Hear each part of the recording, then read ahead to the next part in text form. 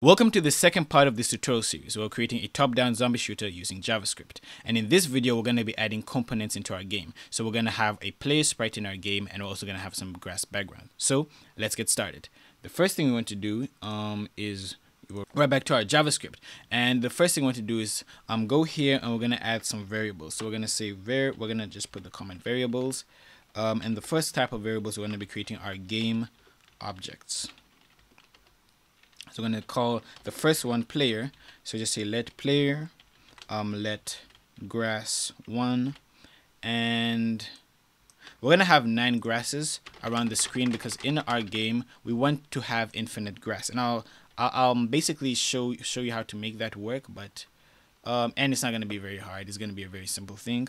I'm going to go this and this. Okay, cool. Seven, um, eight, and nine. Okay, cool. So now we have nine grass objects and the next thing we just need to do is scroll down here and create our component function. So right um, after the game area variable let's create this function. We're going to call this function um, and we're going to call it component.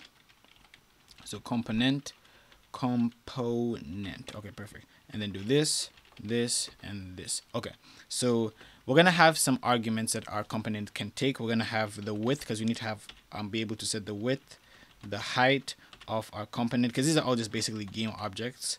Um, the source image, the X, the Y, the type, and the angle.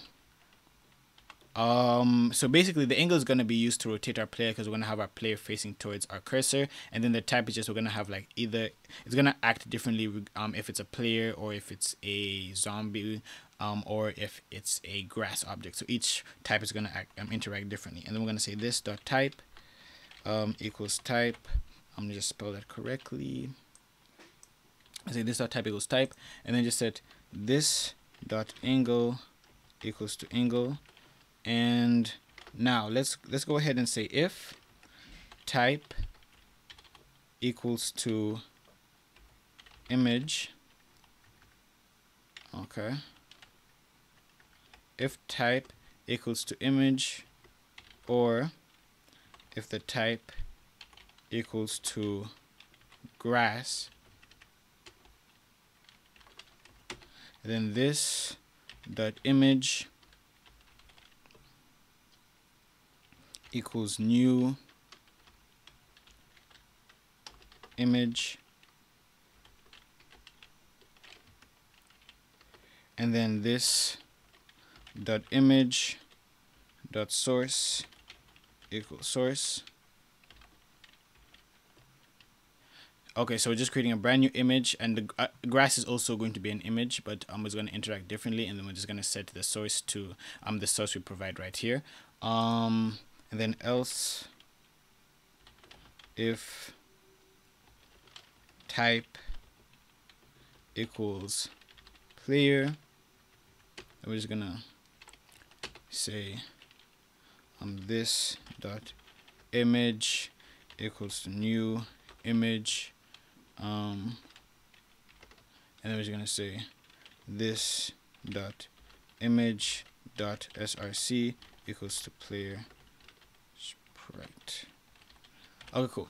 Now, um, if we go back um, here, um, we're going to animate our player, but we're not going to do that in this video, but um, simply just call this um, animation variables.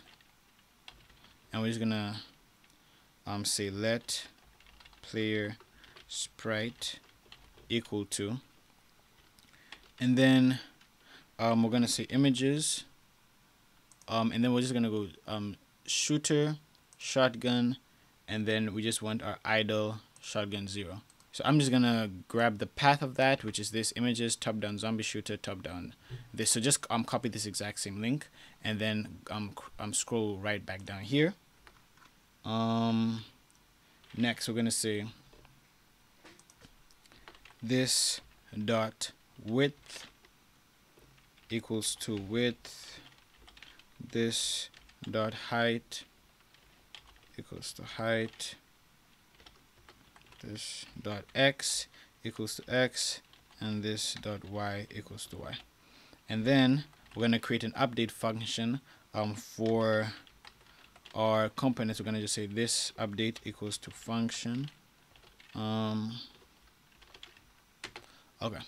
So now we're going to say let ctx equal to game area dot context. Um, okay, cool. I'm just to say ctx dot save Okay.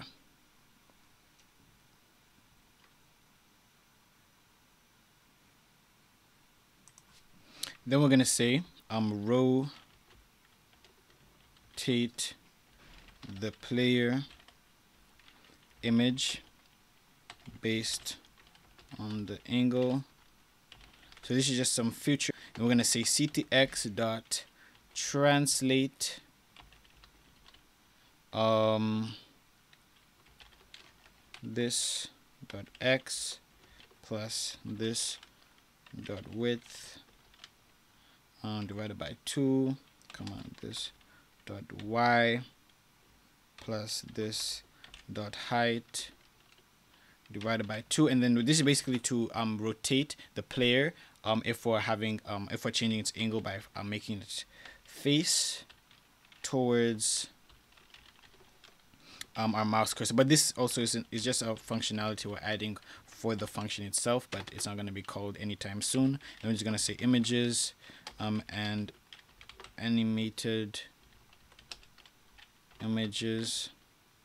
And then we'll just say if type equals to okay yeah this whole time I've been assigning the equals operator wrong this is how you do equals in uh, JavaScript, you need three equal signs um, when we're looking for something. And then we just say if type equals to image. This one isn't too hard. And we just say um, ctx dot draw um, image and then say this dot image um comma minus this dot width divided by 2 comma negative this dot height divided by 2 and then this dot width and this dot height. So right here we're basically just going to draw our image using this um, and then we're gonna copy this. Say else. Else if the type is player. And then yeah, all we have to do instead is say um, this dot image dot source equals to player sprite and then just do the same here.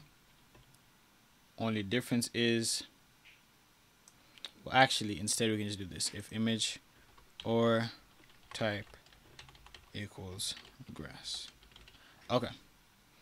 Um and that's all. Now we just have to go here and say um ctx dot restore.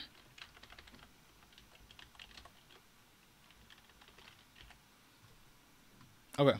So that's all we need for our for our component, now we just have to go ahead and create one and actually see how um, it would work. So just to create a component, we're just going to create, um, we're first going to just create one. We're just going to say player equals new component.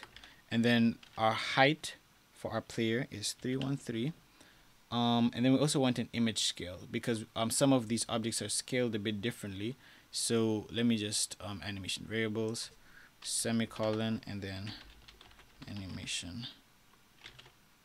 Mm, yeah, I, I think this is fine. We say let um, images scale equal to 0 0.5. Actually 0 0.4. Okay, so now we're just going to copy the exact same um, width and height of the original image, but then we're just going to multiply it by the image scale in case you want to make it um, m like what is it? We can dynamically change the height I mean the size of our image. So we're just going to do this. And then the original um, height is 207 times images scale. Um, and then we got to set its center to 640 but then it's not aligned the the player itself is not aligned um correctly to the center of the screen. So to do that we're just going to say 313 times images scale um and then divide that by 2 and then just say 360 60 minus 202 times image scale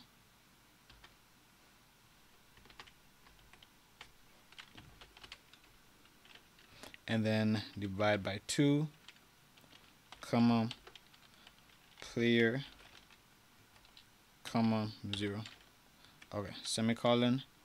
And and then right under the context you just want to say player dot update.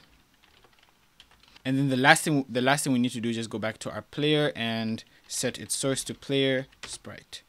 And save that and we can go to our game and reload and yeah of course I mean I tested this already but now we have our player in our screen.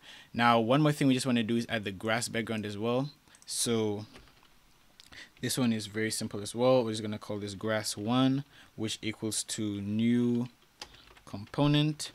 We're going to set it to 1 to 80 by 720 so it's going to take up the whole screen and say images slash grass.png